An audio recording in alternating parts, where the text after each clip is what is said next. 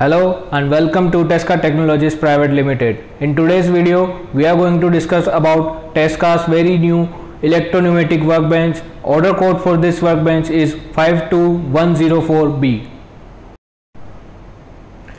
So this kit basically gives brief uh, introduction about the electro-pneumatic components which are nowadays using in industrial environment. We also provide PLC control with this component to give better understanding in the industrial processing. So this electro-pneumatic workbench comes with some basic pneumatic electro-pneumatic uh, components uh, in which this is a double acting cylinder. Also there are some limit switches to operate the uh, double acting cylinders process. Another double acting cylinder with the roller lever uh, actuators. This is a single acting cylinder which uh, also providing uh, proximity sensor. This is a O valve or shutter wall. these are the flow control valves for different cylinders.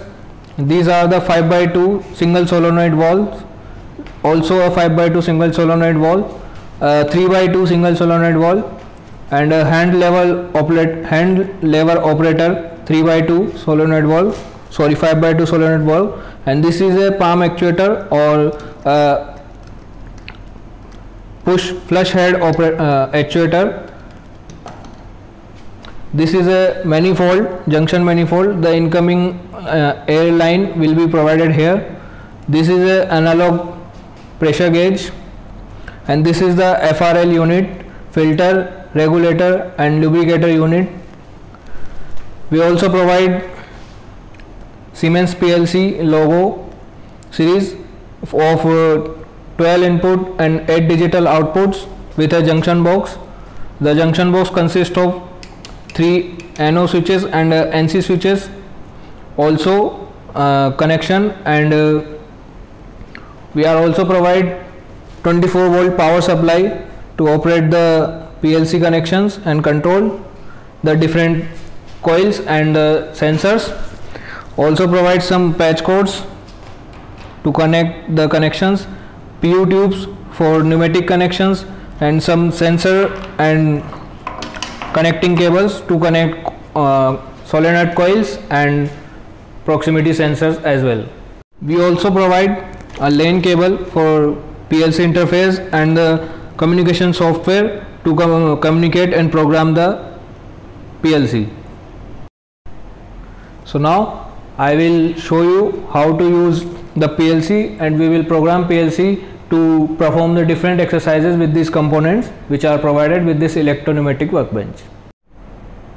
So before doing the exercises we first make sure the incoming line will be connected to the FRL unit. This is the incoming line from the compressor. So the compressor incoming line will be connected here and this arrow will show how the air should be passed on through this FRL unit. Now the output of this FRL unit will be connected to the manifold. So this is the basic connection which, which remains same for the all connections. Now we will use a 4 mm tube and to see the pressure we will connect this PU tube to this pressure gauge. Now I will on the so now I will open the valve of this compressor and the pressure is shown at the FRL unit.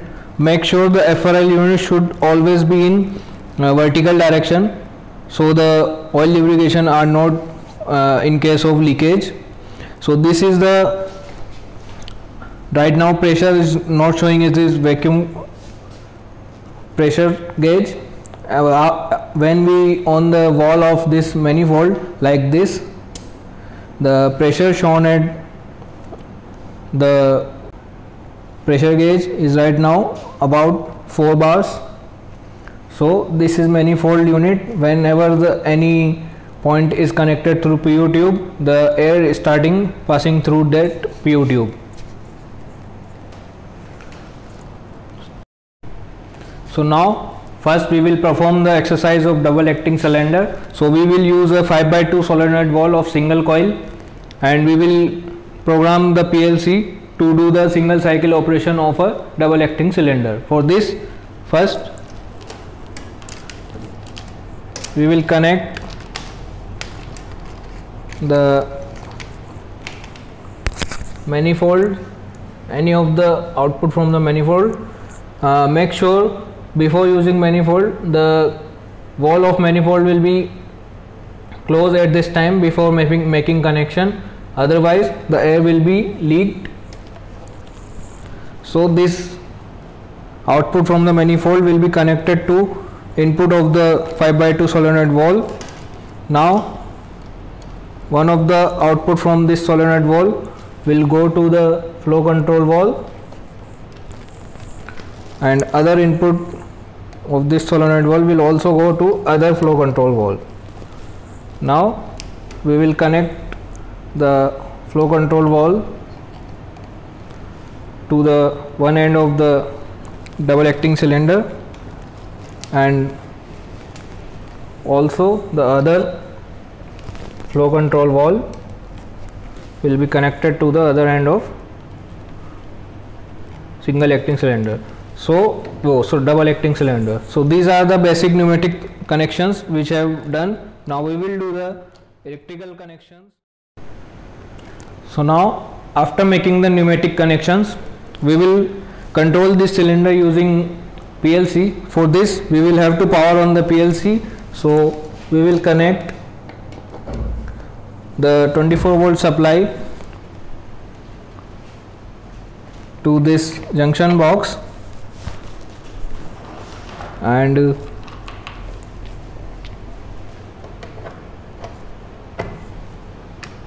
positive of this PLC junction to positive of the PLC and negative to the negative. So when we also need to short circuit the positive negative junction box to give the proper connection of this PLC junction. For this we need to short circuit this positive terminal and this negative terminal as well. So now we will power on the 24 volt power supply. And our PLC is now on. So we move on to the programming section. For this we will use the LAN cable. The one end of this LAN cable is already connected to PLC PC and the other end will be connected to the PLC to this ethernet port. So now we will move on to the programming section. For this programming of this PLC we will use Logosoft Comfort version 8.0.1 so this is the software which will be used to programming this PLC so making the program will be make the lengthy this video so we have already programmed the PLC before. So this is the program of double acting cylinder using 5 by 2 solenoid single solenoid valve so this program will be downloaded to our PLC with this download button. So this is our IP of our PLC we will test the connection. The connection is perfect now press ok and the program will be downloaded to the PLC so for uh, measurement or for to simulation we will start up the online test. We will use it after we make the electrical connections.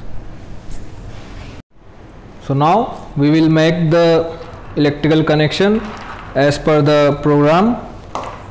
For this we will connect uh, a NO button first to the 24 volt power and the other end of this anode will be provided to input 1 as defined in the program. So, now we require a uh, sensor cable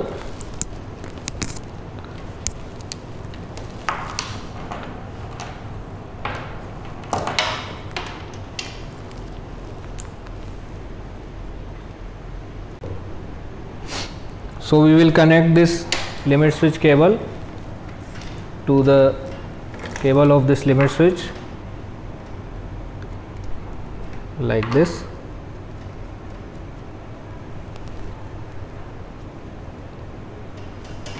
And uh, limit switch works as an NONC program. So for this we will provide 24 volt to one end of this limit switch and the other end will be provided to input 2 which is defined as the A0 input of the limit switch. So now we will use the other sensor which is the A1 limit switch also connect this with this two end cable and the input will be connected to 24 volt supply and output will be going to input 3 in the junction box as we defined it. So our connection for output we will require the coil. So the negative end of this coil will be goes to negative and the positive will be at q1 so this is our output which is defined in the PLC so as the output uh, goes high this coil will be working starting and which we uh, work to operate the cylinder.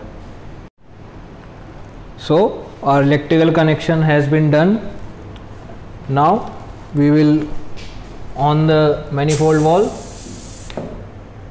we can see the pressure is at now 4 bars so we will push this button and will give the input to the PLC and the output will become and the single cycle of this double acting cylinder will be occurred. So, as I give the input again I give the input. So this is how the single cycle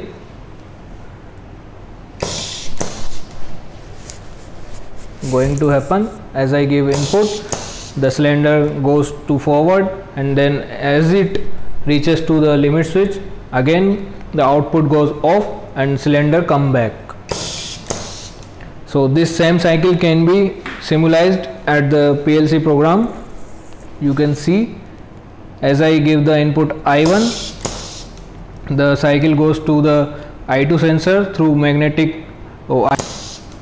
So in the simulation you can see the single act, uh, double acting cylinder single cycle is working.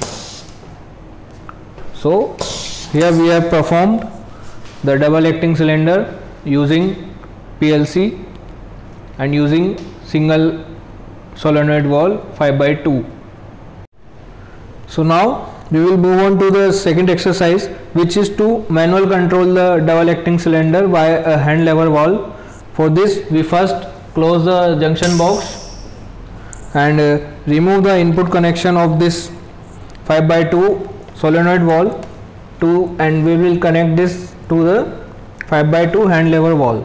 so this is the hand lever wall. Samely connection will be done as we done the, to the 5 by 2 wall.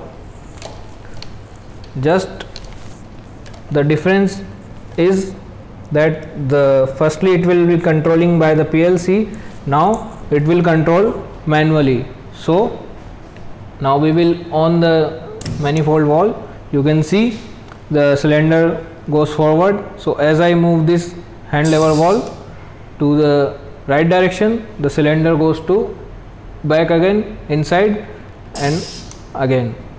So this is the manual cycle manually operated by hand lever valve I will also explain the flow control valves as we loosen the bolts of these flow control valves you can see the speed of the piston stroke of the cylinder will be increased as the flow is increased through this flow control valve so the speed is increased right now. I will loosen some more as I tighten the flow control valve the flow of control air is happen and the cylinder goes forward in slow as I tighten the forward section of this flow control valve so right now you are seeing that the cylinder is uh, going far from this limit switch. So the limit switch can be easily adjusted like this. These are easily mounted sections on this aluminum rail and on this inclined plate. So we can see the after complete stroke we can adjust this limit switch like this properly. Now the stroke is complete. So that's how we control the double acting cylinder using hand lever valve so now we move on to the single acting cylinder single cycle with 5 by 2 solenoid valve so for this the electrical connections and the programming section will remain same. Just we have to change the pneumatic section. So for this we will first remove this PU tube from the double acting cylinder and connect it to the single acting cylinder. Now we will remove this proximity for a second and open this limit switches and these will be connected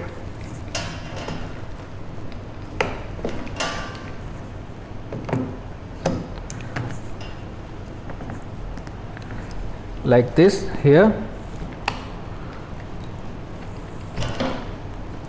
And we have to just remove the other line of this pneumatic section.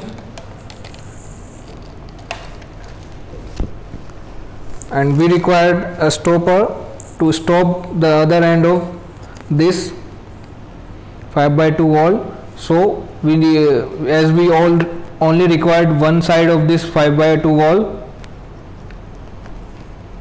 So now we on the manifold wall. And again we will see the single uh, single acting cylinder cycle. So we can see the limit switch has not reached to the single acting cylinder.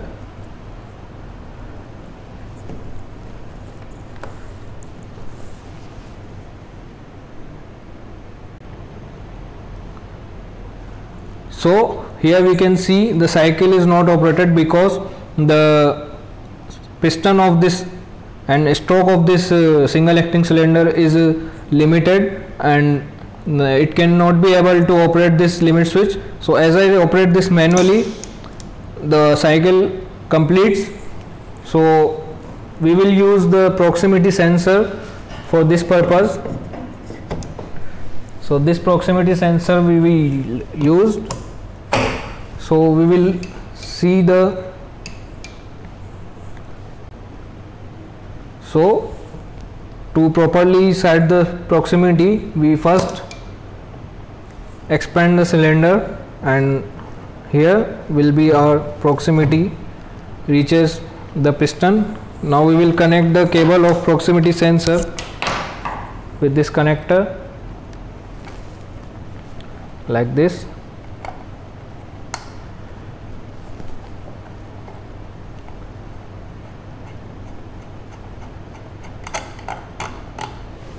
and we will remove the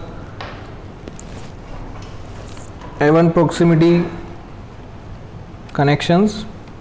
Instead we will use the proximity sensor on the place of limit switch. For this the we will properly connect the proximity. For this uh, this is the 24 volt positive supply given to the brown and negative supply will be given to the blue and black will be the output. So output will be connected to the i3 same as the limit switch and positive will be connected to positive 24 volt and negative will be connected to this. So as we connect the negative the sensor operates and the cycle goes complete. Again we will perform the cycle with a limit switch and a proximity switch. So this is the single acting cylinder. Using proximity limit switch and uh, 5 by 2 solenoid valve so now we will move on to the multi-cycle operation of double acting cylinder. For this we will use this double acting cylinder and we will do the pneumatic connection first. For this connect an output from the manifold to a 5 by 2 wall. We will use a 5 by 2 solenoid wall for this. And now we will connect the one end of this 5 by 2 solenoid wall to the one of a flow control wall. Also similarly we again connect a flow control wall to one end of a double acting cylinder we will again repeat the same cycle for other side of double acting cylinder and we will connect this flow control valve to the output. So these are pneumatic connection which are done. Now we will move on to the electrical connections. For this we first program the PLC. So I have already prepared the program of multi-cycle operation of DSE. So we will open this multi-cycle operation program so this is the program we will download this program to the PLC so this use using this uh, section which is PC2 logo. So this is our PLC we will select this test this and now we will download this program. So our program has been downloaded. We will start simulation by online test. So this program is now in online test. We will do the electrical connection as per the program we, as we define the all inputs so we move on to the electrical connections. For this we will use uh, first limit switch cables and connect this limit, limit switch cables to the connectors of limit switch like this. So this is our A0 limit switch and this is our A1 limit switch.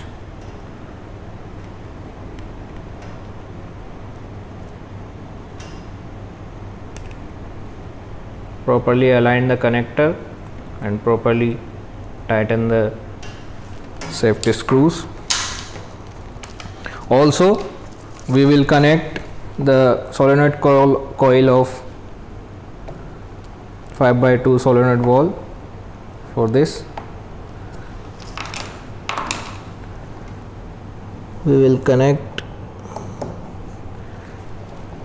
the cable for the 5 by 2 solenoid valve now we will use patch cords to connect the inputs. For this we will first connect the start push button. For this we will give 24 volt to NO section of this NO button. And other terminal of this NO button will be goes to input 1 as we defined here that the input 1 is start push button. Now we also use stop PB in this. So we will give this red push button as an stop push button. So we will connect 24 volt to the one end of this stop push button and read a longer cable for this. And we will connect the other end of this to I2 so I2 is our stop push button. Now we will connect the limit switches. So our first limit switch is a0 which will be given to the input 3 so one end of this limit switch will be connected to 24 volt supply and the other end will be connected to i3 input. Similarly the a1 limit switch will be connected like this 24 volt to 24 volt supply one end and other end will be connected to i4 and uh, for output we will connect one end to the negative and one end which is the output Q1 of this solenoid valve. So we have done our electrical connections. So after doing the electrical connections we will perform the multi-cycle operation of this double acting cylinder for this first we will open the air wall of this manifold we can see pressure is now showing at the pressure gauge all electrical connection are verified. So we will give input from this push button. So this is the input. Sorry stop push button was pressed already. That's why input is not going. Now I have uh, opened the stop push button. So as I give the input you can see the multi-cycle operation is uh, going on till I press the stop push button so as I press the stop push button the multi-cycle operation has stopped. Again I open the stop push button and we will give input and start the multi-cycle operation. So this is the multi-cycle operation which we have programmed in the PLC you can also uh, understand this by online test of simulations. So this is our multi-cycle operation of double acting cylinder so now we will do the next experiment which is counting of forward movement of a double acting cylinder. For this uh, we will use the same uh, pneumatic and electrical connection. Uh, pneumatic connection will be the properly same as uh, in the multi-cycle operation. Just we have to add a proximity here to counting the forward movement. Just remember when we use uh, working with proximity always use the metal end of the uh, front end of the cylinder because proximity only sense the metal. So now we will place the proximity here and do the connections of proximity with this three point cable and connect this connector like this so in multi-cycle we will program also. So in proximity there are three wires which is brown will be goes to positive 24 volt blue will be going to negative and black will be output which is going to input 5 we have defined the input program in this PLC program. So I will download this program of uh, forward counting counting of forward movement.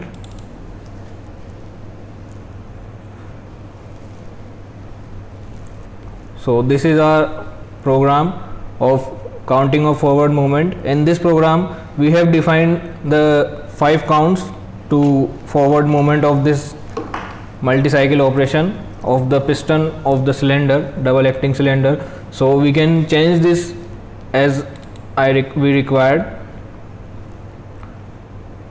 So the these are the on count which is 0 at this moment from 0 counts the program run and starts the counting of cylinder. And after 5 counts this will be off.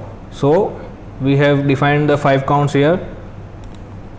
Now I will download this program to the PLC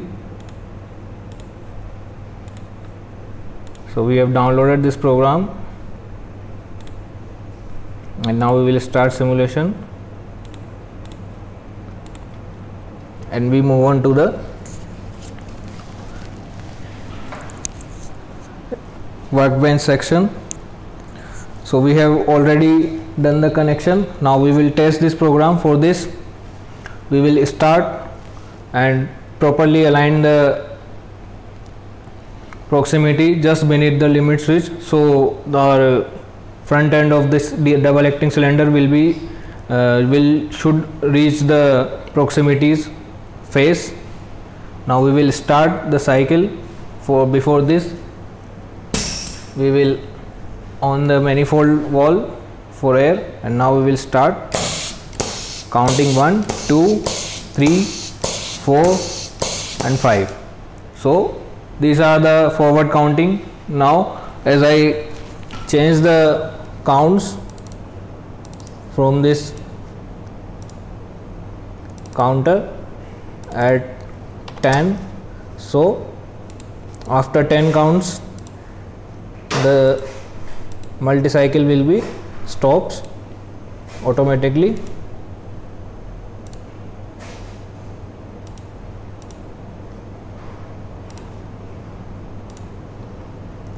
after changing the counts we have to download the program again. And we will start simulation. So we again start this cycle and after 10 cycles the cylinder automatically stops. We do not stop this time as we are stopping it in the multi-cycle operation. So we start this. 1 2 3 4 5 6 7 8 9 and 10 so these are the forward counting. We can also program different combinations from this uh, multi-cycle and uh, single cycle cylinders. We will going to perform the single acting cylinder operating by a hand operated or palm actuator for this we will connect this output of this manifold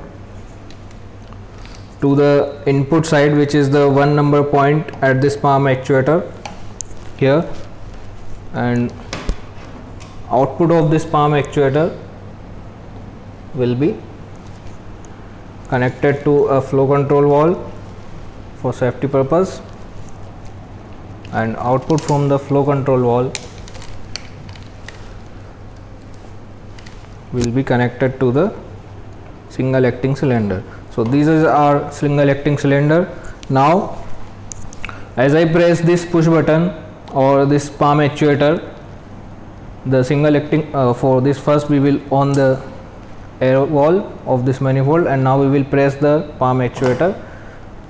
The, the cylinder uh, we will notice the forward movement of the piston of cylinder. As I release this the cylinder go going backwards. So this is the working of a palm actuator manually controlling the single acting cylinder.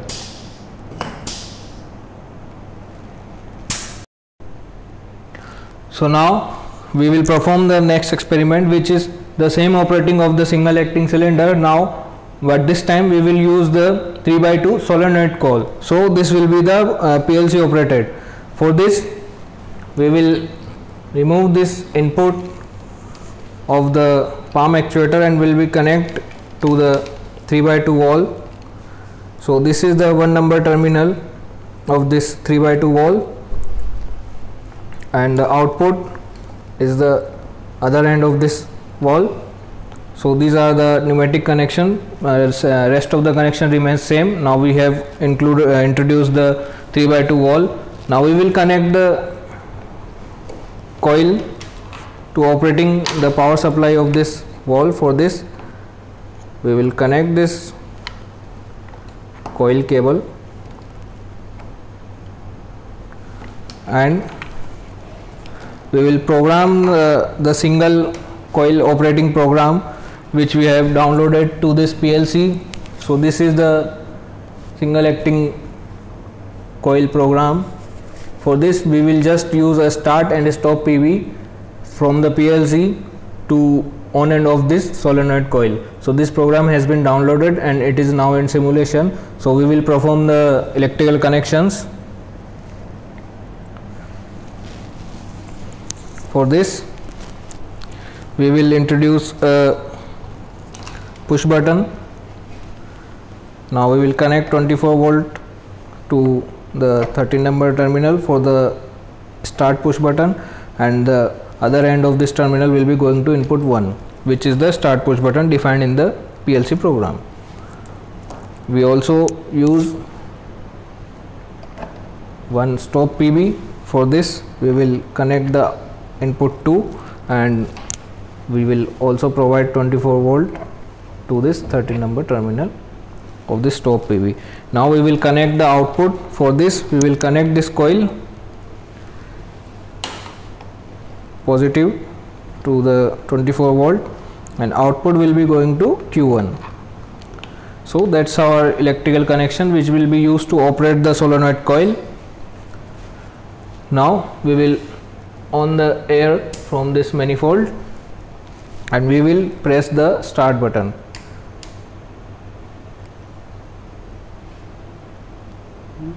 So for output we will use the coil and we will connect this coil to negative and output will be coming from the Q1 like this. And now we will operate this cylinder.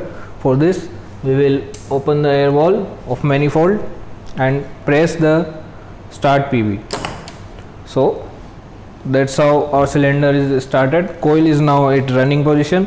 Where as we want to stop this we will press the stop PB so that's how we will use the 3 by 2 solenoid valve to operating a single acting cylinder. Now we will explain the roller lever actuator. So this is a roller lever actuator for this this comes in use when we want to operate any other movement by one movement so this movement of forward cylinder will operate this roller lever and this roller lever will operate the single acting cylinder from this we will first connect this double acting cylinder to operating with this 5 by 2 solenoid valve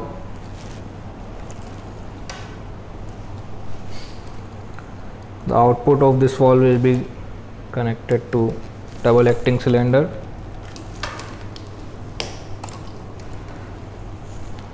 Like this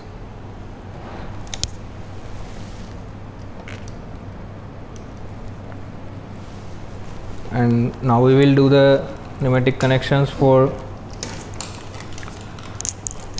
roller lever.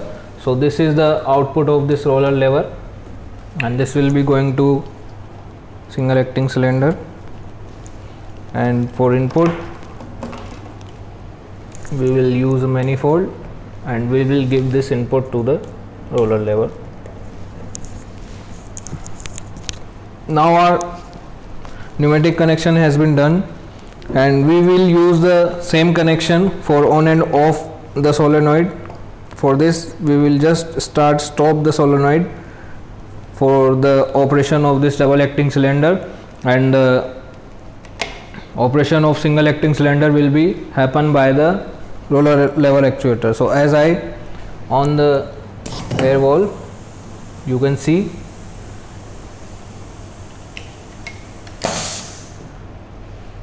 the as I on the air without on the solenoid the cylinder operates. Just this is due to the reverse connections of the cylinder. For this we will just off this and we will reverse the connection for solenoid. So as I again on the air right this time this is the perfect connections so this is the power on of solenoid and the operation. And as I stop the roller lever also stops and the cylinder also goes to reverse uh, the single acting cylinder. As I again operate this start push button and as the forward movement of this double acting cylinder goes this will operate the roller lever actuator and the roller lever actuator will operate the single acting cylinder. So after removing the stop button we will start this. So you can see the cycle of this uh, roller lever actuator. We will stop and the cylinder comes back. So that's how we use the roller, roller lever actuator. Uh, this will be used in different industrial purposes when we used uh, any uh, one signal one movement of any cylinder will be used to operate the other movement of any cylinder. Now we will use this OR valve to operate a double acting cylinder. So this is a OR valve or shuttle valve this will be basically operates from one input. When one input is uh, coming the output will uh, occurs. But when the input one one of the input is uh, giving the air line to this wall the other input will be blocked when the other input will be giving the air the, then the first input will be blocked so that's how this valve work. Now we will do the connections for this. We will use one palm actuator and a 5 by 2 uh, solenoid valve which is the hand lever operated. And we will do the operation of this double acting cylinder using this solenoid coil valve 5 by 2 for which for this we will first do the connection of double acting cylinder of 5 by 2 wall. for this we will use the OR valves output to giving input. We will use a smaller tube for this. So the output of this 5 by 2 wall which uh, basically the operation which will be used to operate operate this uh, double acting cylinder will be given from this OR valve so for this incoming of this OR valve we will give one incoming line from the hand operated lever 5 by 2 so this is the first incoming line of this and other incoming line of this OR will be coming from the palm actuator. So this is the basic line connection. So first incoming will be coming to the from the hand operated and this is the manually palm, palm operated. So these are the two incoming lines and the output will be one at a time. Let's describe the valve now we will do the connections of double acting cylinder. In case if we find uh, the reverse operation we will reverse the terminals as we required. Now I need a PU tube to giving input to both of the hand operated manually operated valve so this is going to the palm actuator and this input will be going to the 5 by 2 lever valve one end of this 5 by 2 we have stopped with this stopper. So we just need a one output from this 5 by 2 lever now we will program the PLC as per the on and off circuit to just we want to on and off this solenoid coil to operate and perform the double acting cylinder operation. So our pneumatic and electrical connection has been verified. Now we will first on this 5 by 2 valve. So the 5 by 2 valves output will be going to the valve. Now as we press the on input the cylinder operates. As I press stop the cylinder again goes backward. So this is now operating from the 5 by 2 wall. At this time as I input and press the palm actuator valve to giving the input this will not going to the OR valve because the first input already coming from the 5 by 2 wall. So this will not affect the 5 by 2 as I remove the air line from this 5 by 2 so this is the I off manually this 5 by 2 wall.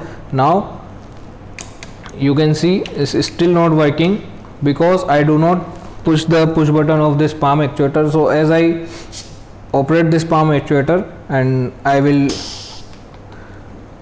pressed till we operate this by 5 by 2 wall solenoid coil so this is now operating from the output of the palm actuator. So that's how valve works. When I giving the input from valve like this. This not affect the output of 5 by 2 the input of this OR valve will be not affected from this 5 by 2 wall. You can see and hear the air noise which is going and inside but not affecting the output. So as I remove the 5 by 2 coil the air line to the double acting cylinder will also removed. So as I give input from the 5 by 2 now we will stop and the coil stops and cylinder working so now last we will perform the sequencing operation of uh, two double acting cylinder. So first we will uh, perform the a plus b plus a minus and b minus cycle. So i will explain the what is a plus and b plus. So this is a cylinder. Uh, this is when this cylinder going forward. So this is the a plus cycle of this cylinder and this is the a minus cycle of this cylinder. So forward movement will be considered as a plus and reverse movement will be considered as uh, a minus. So similarly when we use two cylinder so we will define this as a and this is defined as b. So as it goes forward which it will be from a plus and as it goes forward this will be b plus. So the both cylinder will going to first a plus and b plus and then after 5 seconds this both the cylinder will come back uh, which describes the reverse movement which is the a minus and b minus. So this is the sequencing operation so sequencing operation program has been uh, already done. I have made up already so we do not have so much time in this video. So this program will be provided to you also. So this is the sequencing program of a plus b plus a minus b minus. Now we will download this program to the PLC so this program is downloaded to the PLC and we will remain this PLC on the online test mode. Now we will first do the pneumatic connections. For this we will use two solenoid valves. So first solenoid will valve will be this 5 by 2 solenoid valve. The input will be connected from manifold and the other solenoid valve will be given input from this manifold now just remember one thing. While connecting the solenoid valves always connect the same terminals to the same output of the cylinder. So as I connect the left terminal of this solenoid valve to the back end of this cylinder so similarly at the other cylinder you should also connect the left terminal to the back end of the second cylinder. Now the front end or the right end of this solenoid valve will be connected to the forward section of this cylinder. So similarly the front end of this cylinder will be connected to the forward end. So the a plus and a minus cycle will be uh, same for the both the cylinder. Now we will do the electrical connections for this. We first include a start pb for this we will give 24 volt to this 30 number terminal and 14 number terminal will be going to input 1 so this is our input. Now we will connect the output. For this we will just need solenoid coils. So this is the A solenoid coil or S1 solenoid coil. The negative will be connected to negative and output will be coming from Q1 for the first solenoid valve and for other solenoid coil. We will give negative to the common terminal and positive will be coming from Q2 so we will connect this solenoid to Q2 so this one will be the output 1 and this will be the output 2 now we will on the walls. You can see the cylinder is uh, both the cylinder at now right now at the uh, minus positions. So now as we give the input both the cylinder you can observe the forward movement in both cylinders and which is the A plus and B plus movement again and after 5 seconds we have uh, de uh, defined a timer for 5 seconds the B plus and B minus and A minus movement will be happen. So this is the sequencing of two cylinders A plus B plus and A minus B minus. So that's how you can use the sequencing. You can also uh, use different combinations for A plus B minus B plus A minus which are also given in the manual. Just uh, need to uh, connect the lines or the solenoid coils to the different combinations. You can also perform different combinations from these uh, components using all the components from different uh, compo combinations for more details about this uh, circuit how we done work at the electropneumatic workbench of from Tesca for any details about this kit and to purchase and to about any queries you can contact to Tesca Technologies Private Limited. Thank you.